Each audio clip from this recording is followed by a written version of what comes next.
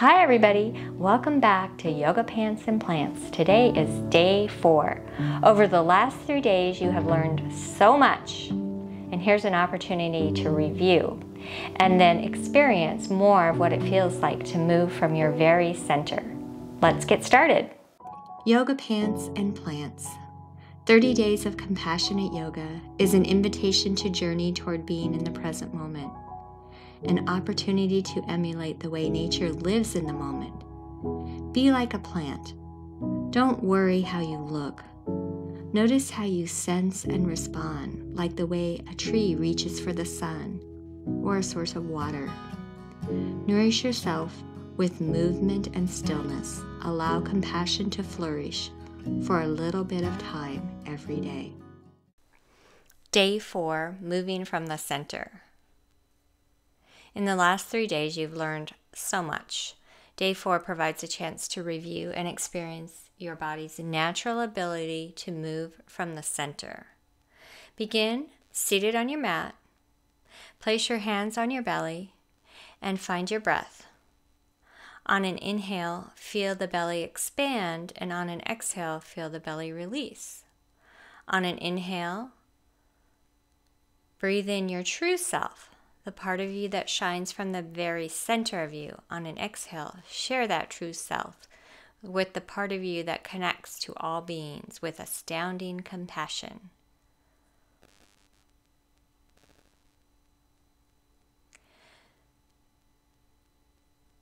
Congratulations on all you've accomplished in the last three days. You have learned about the soma. The soma is the body that's felt from the inside out. You've learned about the five koshas. In Sanskrit, the deepest layer is called the Anandamaya kosha. This layer contains ecstasy, love, and joy. Some yoga traditions refer to this layer as the true self, while others believe this kosha opens the door to the true self. On Day two, the next deepest layer of the body, wisdom was introduced. And on day three, the emotional body was explored in the way that we stood and propped or collapsed. The other two layers will be introduced, and then more in depth study will occur starting with the outer layer and moving in.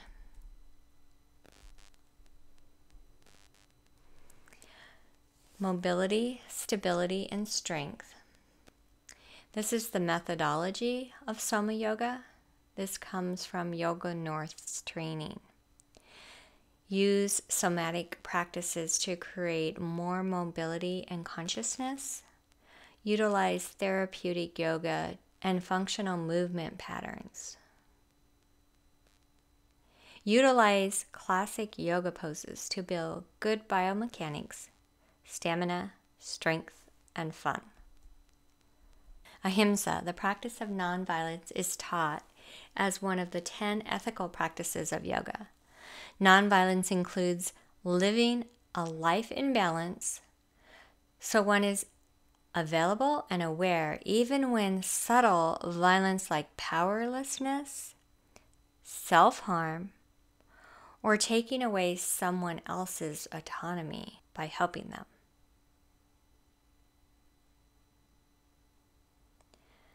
Diaphragmatic breathing, purposefully breathing, fully expanding from the movement of the diaphragm.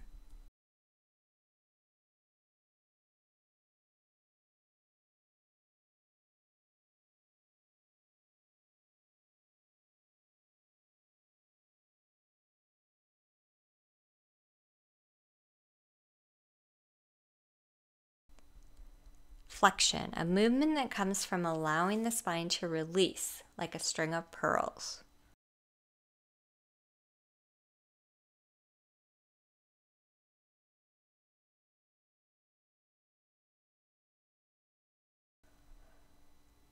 Arch and flatten.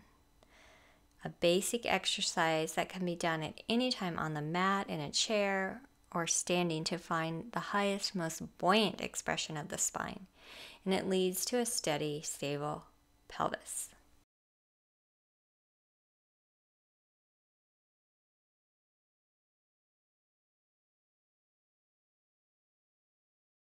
Yielding, a gentle response from gravity that creates buoyancy to your movements. As a perfect place to start today, begin by dangling your feet from your hip sockets and allow them to fall naturally to the floor. Arch and flatten your spine a few times to find the most buoyant and upright spine and a strong, steady pelvis. Bend your knees to feel the action of yielding to earth as you gradually straighten, maintain the connection to the earth with your feet. Bend forward at the hip creases. Gradually straighten while maintaining connection with the earth in the most buoyant way. Bend forward at the hip crease again, and this time allow the spine to flex forward. You may use a chair or a block as needed for stability, the spine flexes forward vertebrae by vertebrae. Notice your toes. How do they feel? Are they relaxed and open to the earth? Notice your feet. Do they feel relaxed and open to the earth? Notice your ankles. How do they feel? Are they relaxed and open to the earth? Gradually return the body so it is parallel to the earth.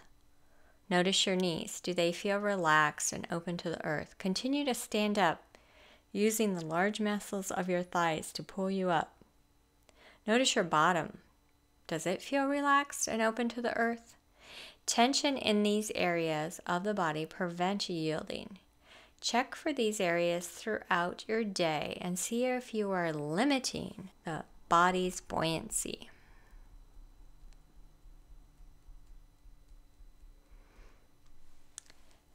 Find a soft folded blanket and lay it on your mat. Move to the ground and lay on your belly.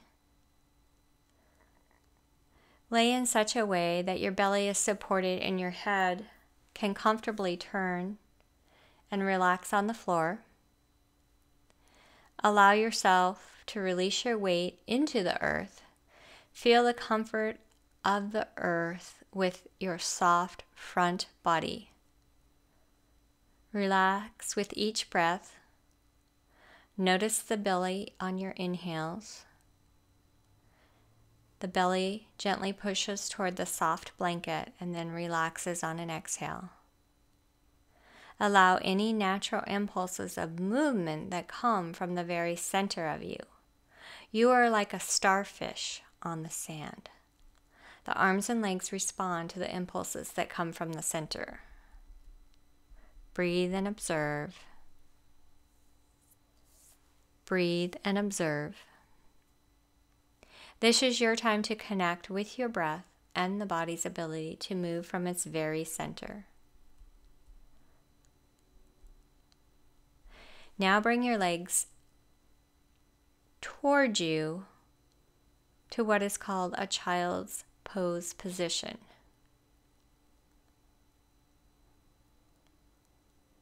Breathe here and observe several times.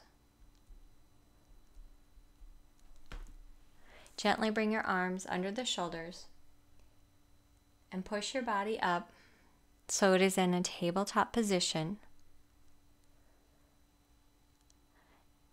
and play around with moving from child's pose to tabletop. Breathe and observe as you make that transition from child's pose to tabletop and tabletop to child's pose.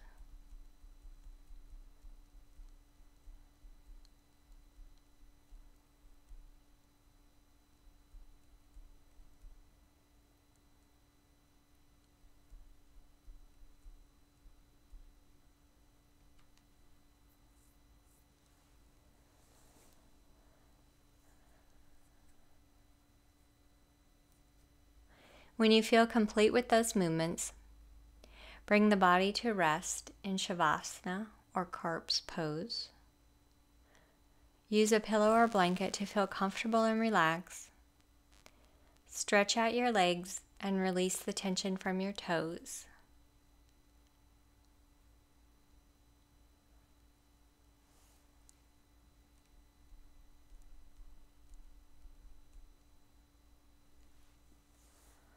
There is a concept taught in yoga philosophy called satya. It is translated as truthfulness. Be real rather than being nice. Be real rather than being nice. This is a quote found in Deb Adele's book, which is a powerful guide to the yamas and niyamas, which are the 10 ethical practices of yoga. What does being real mean to you? Think of a time when you were just being nice and went along with the crowd. Did it feel truthful to you? That part of you that is able to notice your truth is your witness. This layer of consciousness is nourished through working with ahimsa and satya, nonviolence and truthfulness, along with eight other ethical guidelines for daily living that yoga philosophy offers. During the next few moments of silence, invite your witness to observe you from above. You are laying on the ground in this moment of truthfulness.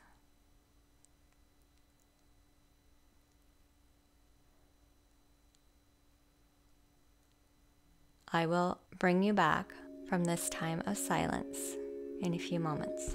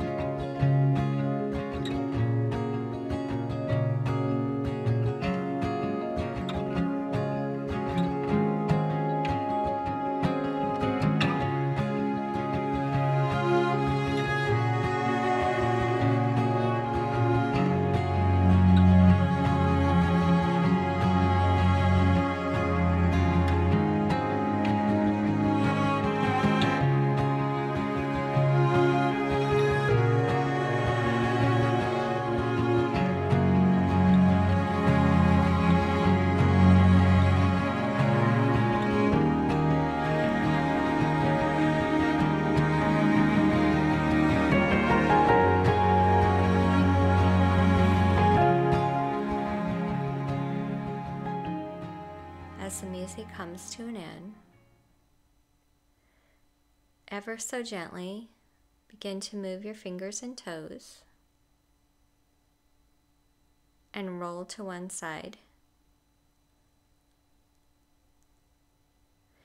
Gently return to a seated position with your eyes in a soft focus or closed. Tap into your intuition and your wisdom on how to be truthful on this day. Namaste.